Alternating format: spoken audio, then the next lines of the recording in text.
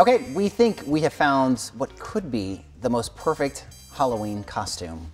Take a look. Hi, we're gonna do the weather on KHQA. and we're gonna talk about the weather. What's the weather doing right now? Um, it's already cold out here. What else is going on with it? What's the temperature? Um, maybe 30?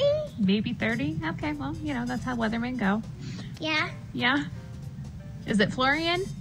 probably it's a little cold out here. It's a little cold out. What What's the weather supposed to be tonight? Snow. Probably be real cold. Be real cold. Yeah. Okay. All right. Tell me your name one more time. Colin, Who, who are you reporting for? um, KHQA. All right.